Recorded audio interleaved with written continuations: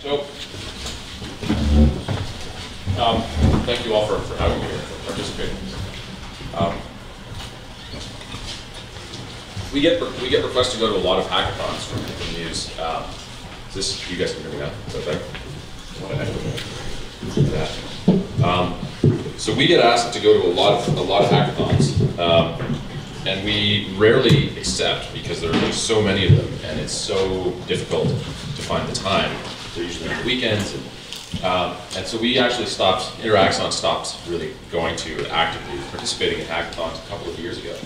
Uh, but when Hector said, "Hey, uh, listen, there's one in Hamilton," I said, "Well, obviously, we don't even go to the ones in Toronto, but we'll come to Hamilton." Uh, of course, and and even we've got some some people here from uh, from Interaxon and from Neurotech UT and from Neurotech Montreal uh, who have come all the way to Hamilton because this should be the capital of neurotechnology. Really. Um, so it's it's a real pleasure to be in. Is that is that going to echo? That's going to echo. All right. Do I need to talk into the mic? Ideally, like, Ideally, can it will it pick me up if I'm over, if the mic is over here? if you project your voice, it should. Yeah. Yeah. Okay. Okay. So the talk, what I'm going to talk to you a little bit about is where I think neurotechnology is going, uh, and what the opportunities are, and why this is a great time to be going to hackathons in neurotech. So this is a video from. Uh, it doesn't have any sound. But this is from EPFL. This guy's Gregoire Courtine. Uh, these guys have been working for about a decade on uh, neural implants, neurotechnology-based implants uh, to receive afferent input from the afferent input from the, I guess afferent input from the spinal cord, and then cross a lesion to help mammals to walk again. So regenerate the ability to walk with neurotech. This is like not the same thing as the uh, as uh, olfactory ensheathing cells or stem cells. This is we're going to take an electrode, we're going to stick it in, we're going to interpret the information coming through down the spinal cord that is no longer rec being received by muscles or the lower limbs, and we're going to try and cross that bridge for people who are fully paralyzed from the waist down. Now, this is sort of the holy grail. We've tried to do this. We've been trying to do this for decades. Um, this has been a, sort of a, like a, a wish for a very, very long time in neurotechnology, and to be able to restore mobility um, after a serious spinal cord injury. And two weeks ago, this was a cover of Nature, published in Nature. They had two big articles, one in Nature Neuroscience, one in Nature. Uh, the one in Nature was the fact that they had managed to do this, and the one in Nature Neuroscience was here is how we did this, and here's how you have to encode the stimulation. Um, so there's a whole parameter space that everybody had to search through. It took all the work of all kinds of people all over the world to figure out how this was going to work, and then Courtine's lab um, finally, based on all the inputs of everybody else, uh, figured out how to make this work. So now people who have, have were completely paralyzed from the waist down, three of them have walked again. These people had not walked for like four years, were totally lost control of their lower limbs, and can now walk even outside. So they have people, after about three or four weeks of stimulation uh, and training, walking like half a kilometer uh, down the, like along Lake Geneva. Um, this is probably one of the most impressive and exciting things that's happened in neurotech, and for that matter in science, uh, in the last five years. And uh, you know, this I think is the beginning of, of like an what's going to be an industry. And this is just one of the things that happens in neurotech. So you have to, you, know, you have these. This is this is an implanted stimulator and a signal processor, and it connects through electrodes to the spinal cord, and it helps people to walk again. So this is what training looks like. And then this is when they get them outside. This is walking along Lake Geneva. These people had like not walked. This guy had not walked in four years and with, with, an implanted stimulator now is walking again. And this is there's, there's still a long way to go, but, but this is very very exciting. So so neurotech is is cool for more than just this reason. Uh, now I'm going to put this in presenter mode and start through a little presentation.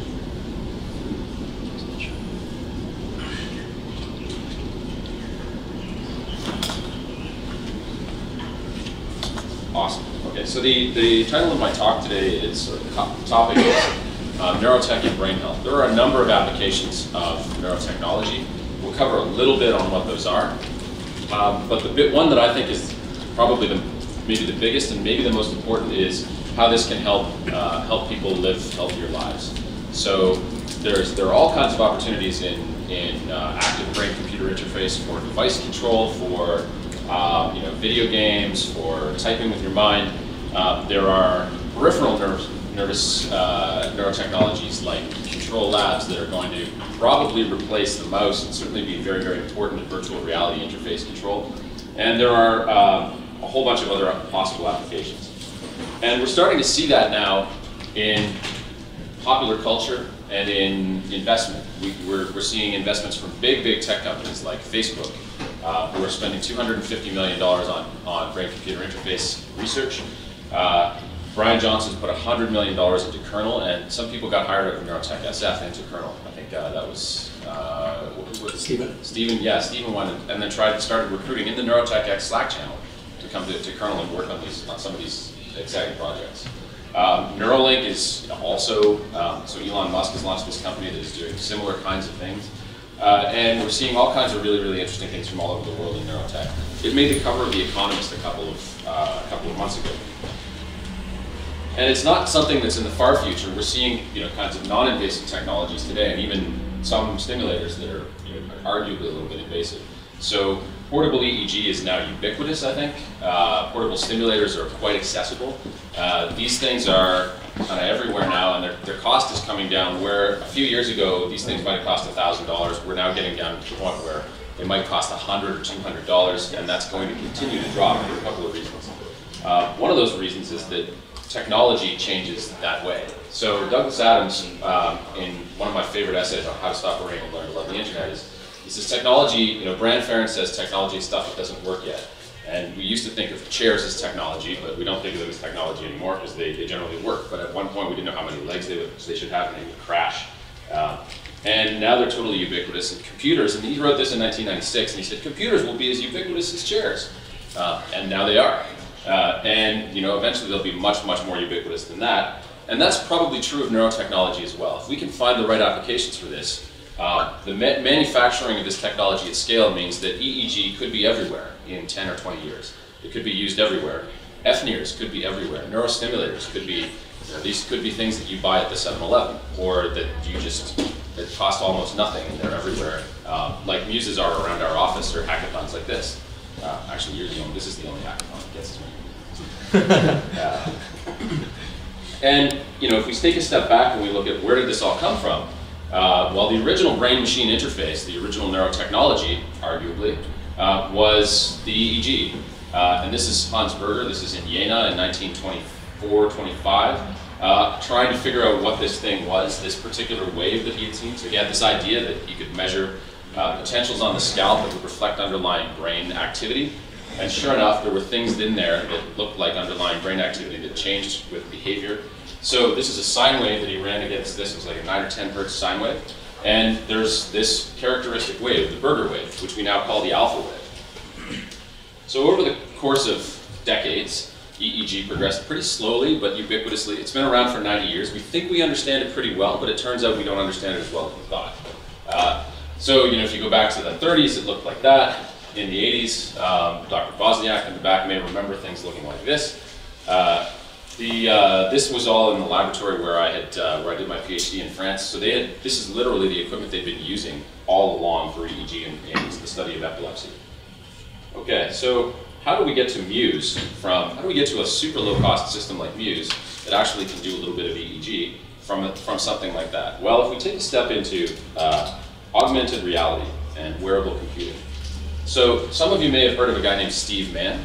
Uh, Steve is considered one of the fathers of wearable computing.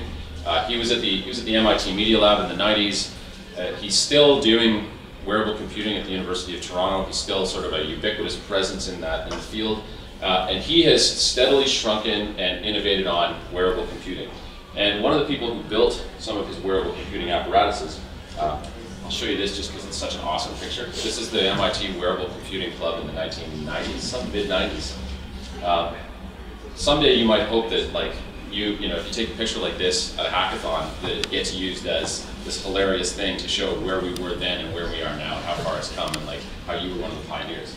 Uh, maybe dress a little better than that for your picture. um, so, so this is um, that that cycle of wearable computing led to uh, this was ITAP. This is uh, this is one of the earliest sort of I guess predecessors to Google Glass in, in terms of augmented reality wearable computing.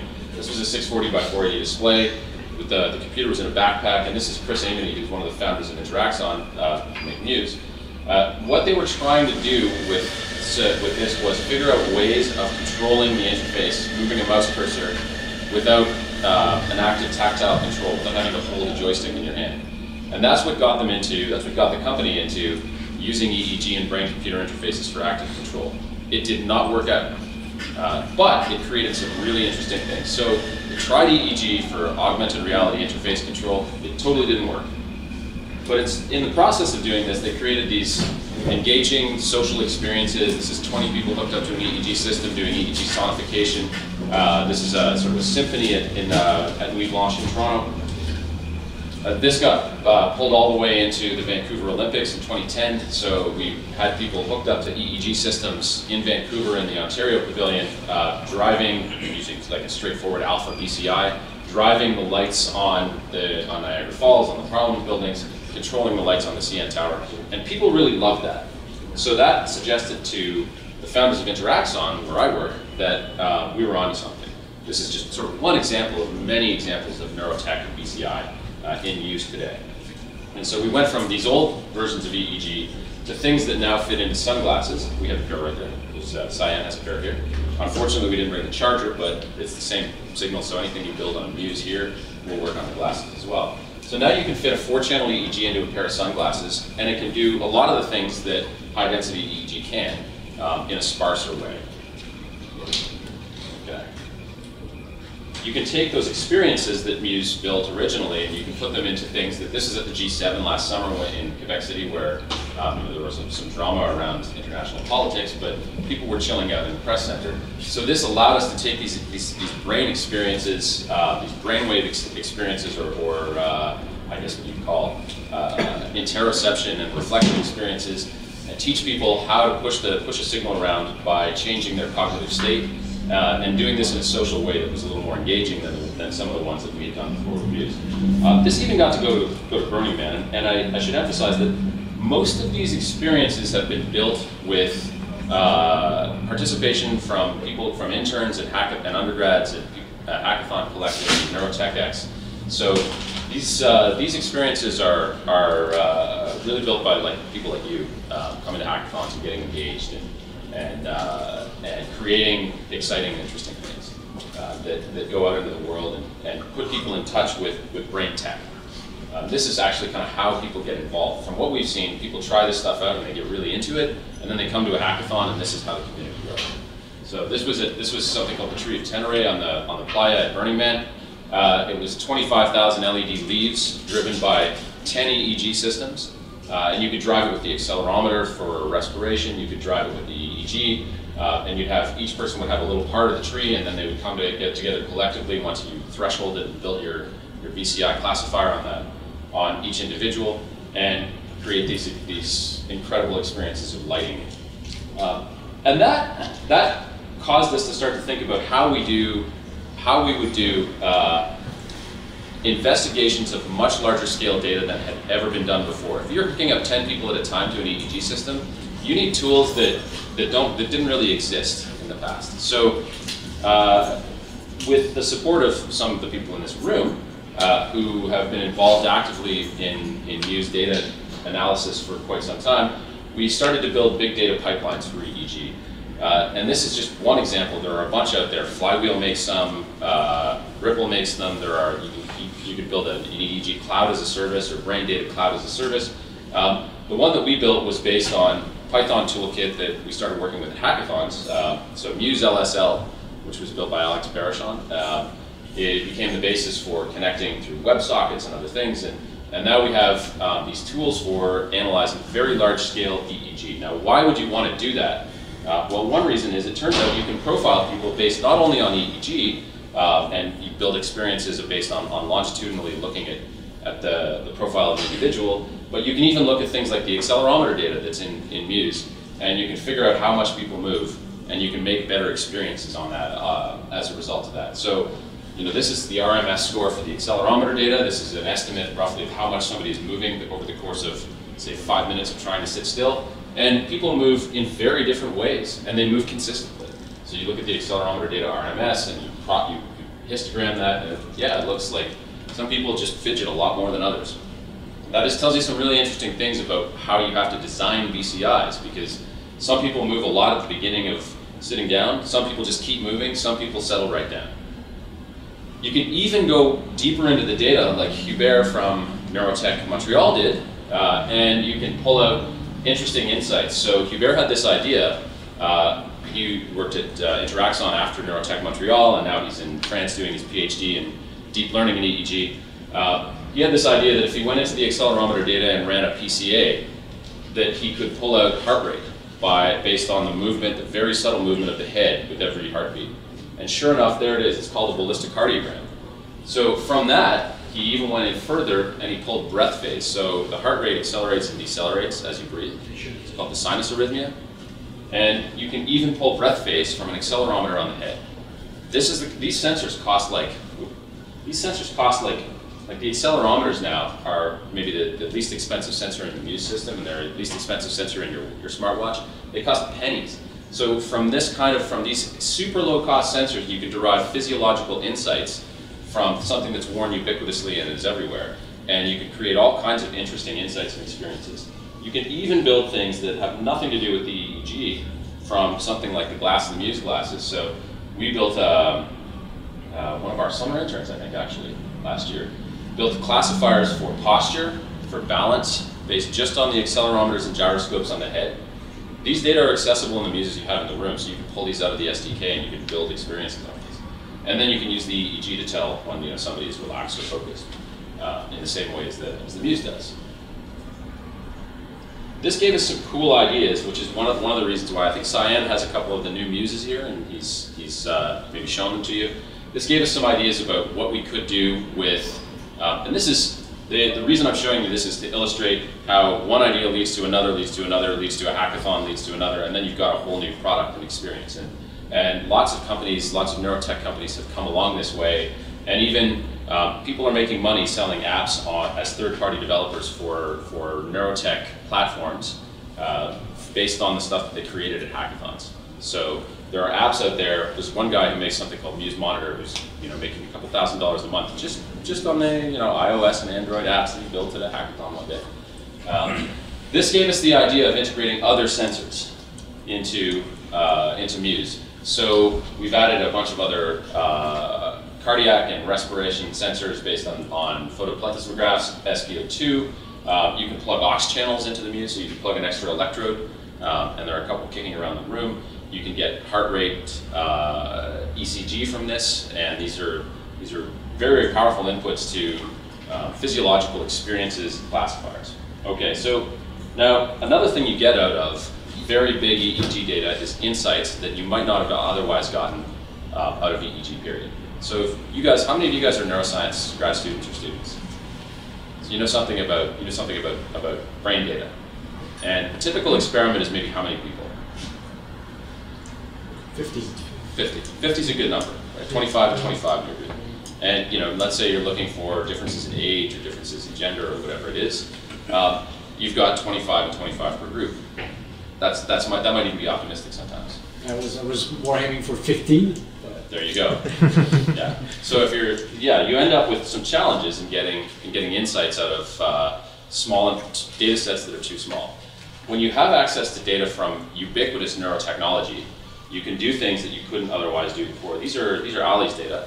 Uh, so this is from 6,000 people using Muse in 2015, 2016. I think it might have been 2015, in which we pulled out uh, a huge swath of users that represented uh, sort of the whole gamut of ages of, of a user base of people who shared their data voluntarily when we asked them to uh, in the Muse, the Muse user group. And what you see is this really cool phenomenon of now we knew that there was a change in age uh, with certain characteristics of the EEG, but we didn't know whether it was linear or log linear or you know it had some sort of bend to it. It turns out that one of these characteristics, the Berger wave, the first thing that we saw in EEG, uh, is super linearly declining with age. Like it's just a straight line, and and there's a gender difference, and this is also consistent with the literature in the beta band. Now we're going to have to revisit this in a second, but this one is, the literature showed us that in fact, you know, there's, there's- a difference between males and females, and it turns out that it's quite robust. So if you look at this, this beta band, this beta power difference between males and females is quite robust. Okay, so we thought we knew all kinds of stuff about how the brain worked on the basis of all of the literature that's come along for decades on EEG. What if some of these things were artifacts of the way we measured and analyzed our data? What if we could revisit this in much larger data sets with much more powerful toolboxes? Well, it turns out that when you do this, and these are some of the toolboxes coming from other members of the Neurotech X community and from, uh, from graduate students at UCSD, from Brad Voytek's lab. So the traditional way of analyzing EEG bands uh, or EEG oscillations, we think we're, we're looking at the Berger wave, for example, is you take a bin and you do an FFT on it and you say whatever's inside this and how that changes is the characteristic of that frequency. This is, a, this is the alpha band, say. And that's, if you look at the power spectrum of, of a whole EEG, you do, the, you do your FFT, you look at the power spectrum, and you plot log frequency and log power, you get this nice linear component here, and then you have an oscillation on top. But the way that we categorized this and grouped it was we just looked at that and we added everything up as though it all just sort of fit in there.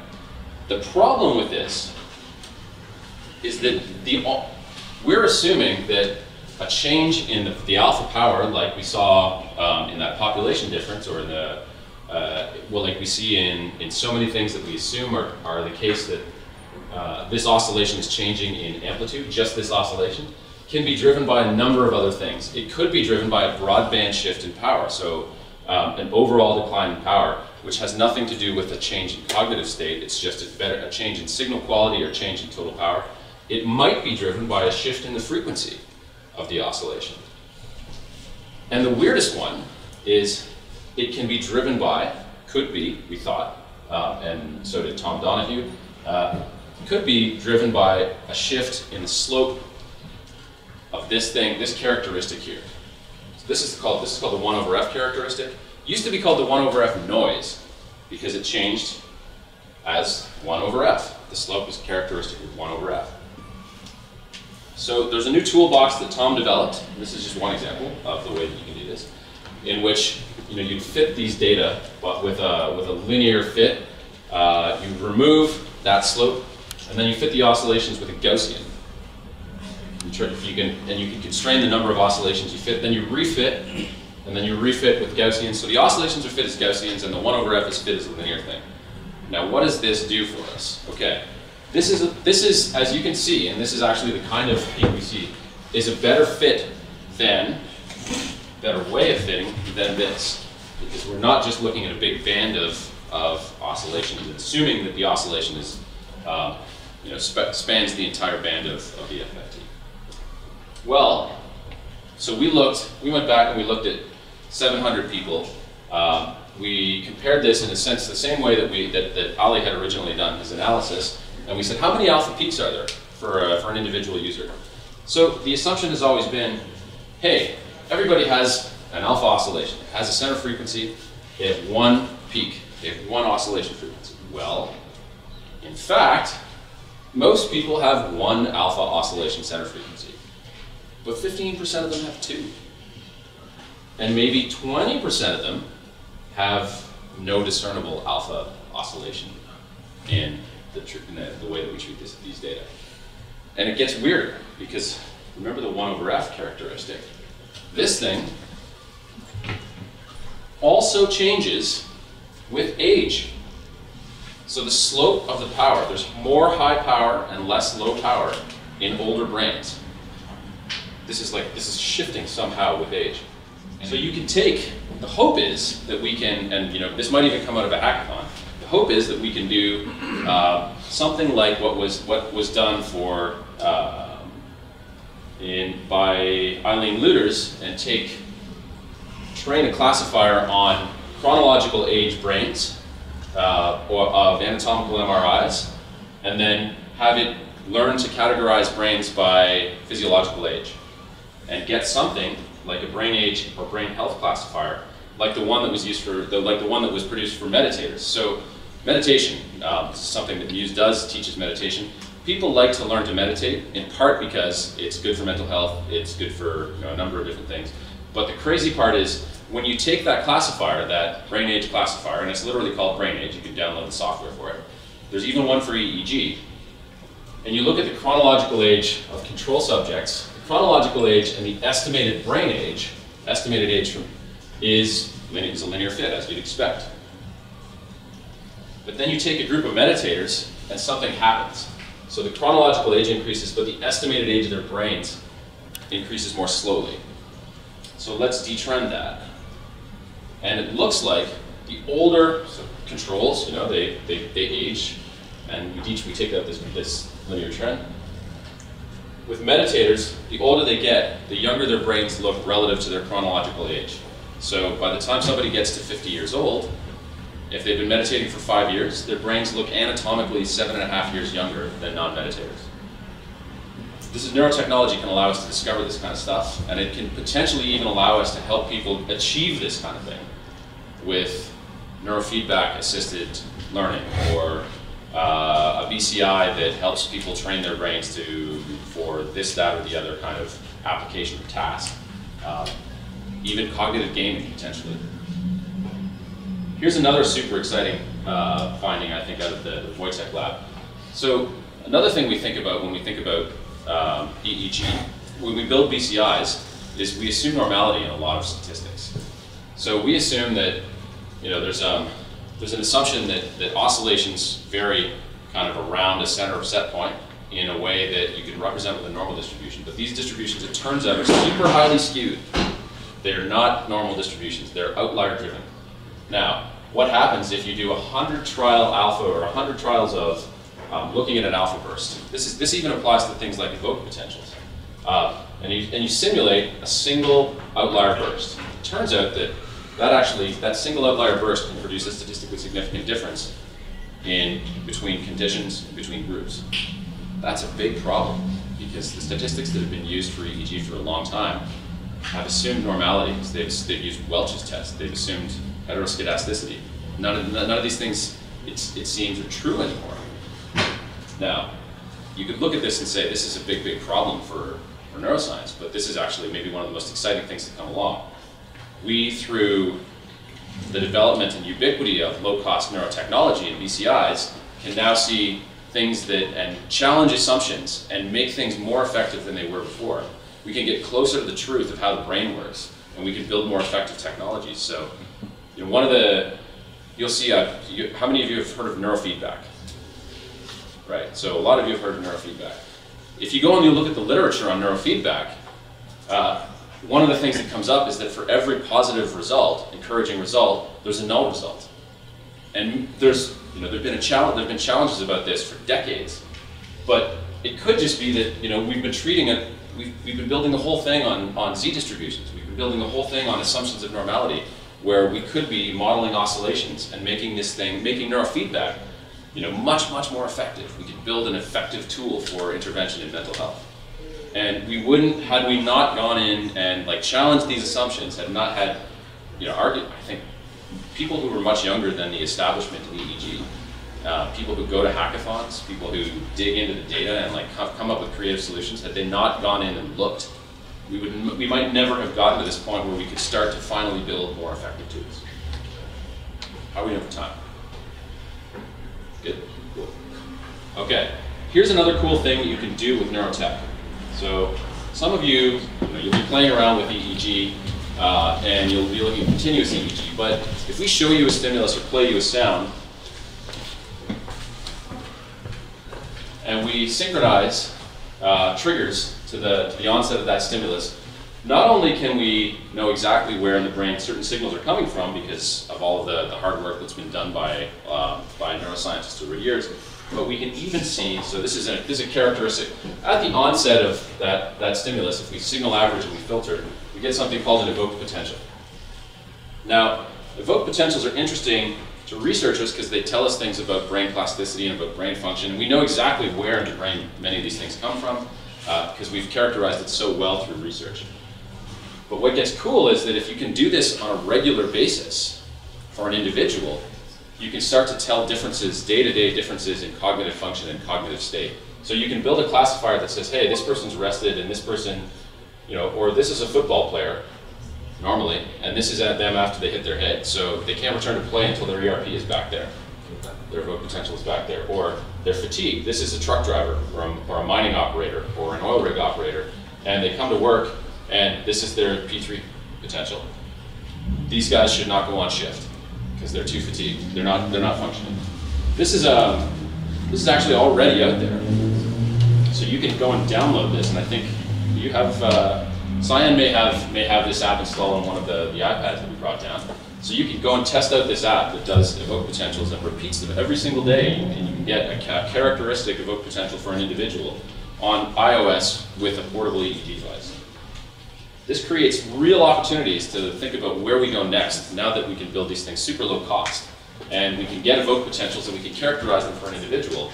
So you can, um, this was some of the work that we did last summer. Uh, this is Nicole, who uh, is also a NeurotechX member. Uh, we 3D printed some electrodes and stuck them into VR systems. So the idea is you can get VR that works in, in Neurotech, uh, or works with Neurotech now, uh, but it costs $10,000 to get a system, or $50,000 to get a system if you're buying it from, from Brain Products. What if we could make this thing cost like 500 bucks? And so that's the question and one of the challenges that we're, we're facing right now. And there are, so there, are, there are lots of interesting challenges in building that. One of them is, you know, you have to figure out a way to manufacture, you have to figure out a way to get through the hair, you have to figure out a way to get good electrode contacts that are stable and comfortable. And then you also have to build the connectors for Unity and for Unreal. Uh, and all of these things require the community's input and testing. So when these things come along, we finally get these things to go. Now, huh? John. Oh, no. You're out of time. I'm out of time. You can potentially take things like, and this is this is from uh, this is Ben Shapiro's work. Okay, so let's say we show you two different diffraction gratings, high contrast, and we signal average them. Uh, individual trials we look at and we see these characteristics, and this is the difference between this is you know looking at um, looking at this one and this is looking at that one for a single individual. These are the differences in the brain responses uh, measured in Muse with uh, with the Oz electrode. Within 20 trials, you can get perfect classification. You can tell from the ERP, EEG, what someone is seeing.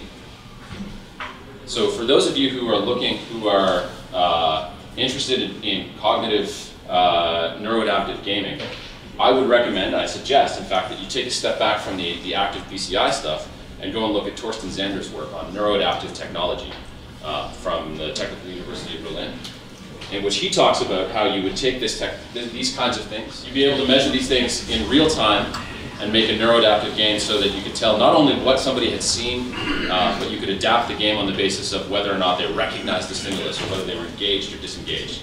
Like tremendously exciting potential for this kind of technology at low cost and ubiquitous. You can take an EEG and you can put it in a car and you can drive around and you can measure relaxation and stress index. So IBM did this with a bunch of muses. This is the IBM uh, research team. Uh, and they're driving along and they're driving along and then something, you know, they're merging onto a highway and the, the cognitive state of the, the driver changes as they measure it. You can do things like what MIT did, uh, so what the Media Lab did at MIT, where they subjected, as you can do, as some of you who, you know, maybe neuroscientists or psychology students have done, you could subject students to pain, it turns out. You have them, you have them hold their hand in an ice bath until they can no longer hold their hand in an ice bath. Uh, and you build a classifier. You don't even have to assume that this is EEG. This might be EMG. This might be, you know, it's it's not necessarily noise, but they just did. They said, okay, here's within this alpha frequency range, and they did a naive classifier on the basis of these data, and you get a pretty good classifier for acute pain. Uh, so you can tell whether or not someone is feeling pain based just on the signals you're pulling off neurotechnology devices. So, why is this all exciting? Why are you guys all here? I think that the reason why so many people are into neurotech now is, well, there are many of them, but um, it's that finally this stuff is accessible and, and really usable outside of the laboratory. And that pre presents some very exciting opportunities. When I talk to, uh, when I learned EEG, it was from uh, this guy back here in the, in the grove, looking at his phone, not paying attention to the talk. Uh, when, when, I learned, when I learned about EEG, when I first started in grad school, um, there were no private sector jobs in neurotechnology. Uh, there was really only deep brain stimulation for Parkinson's disease. That was the one application you could get. Uh, and now there are uh, all kinds of companies doing all kinds of interesting work. There are uh, control labs. There's a whole list of them. Uh, I'll go. I'll go into that in a second. But the most exciting part of it is that because you're young and you've got and you're into this and you've got the opportunity to, to really create something and there's something already underway, um, you can hopefully have a career in neurotechnology. So as Douglas Adams says, you know, anything that's in the world already when you're born is normal. Anything that gets invented between then and the time you turn 30 is incredibly exciting and with any luck you can make a career out of it. That's where you guys are. Like this industry is going to happen and you can have a career in this in the private sector. You don't have to be in university. Uh, and then, you know, anything that gets invented after you're 30 is against the natural order of things and beginning of the end of the world as we know it until it's been around for 10 years when it finally turns to be all right. And you're, you're ideally positioned not only because you're young and into neurotech, but because you come from Canada.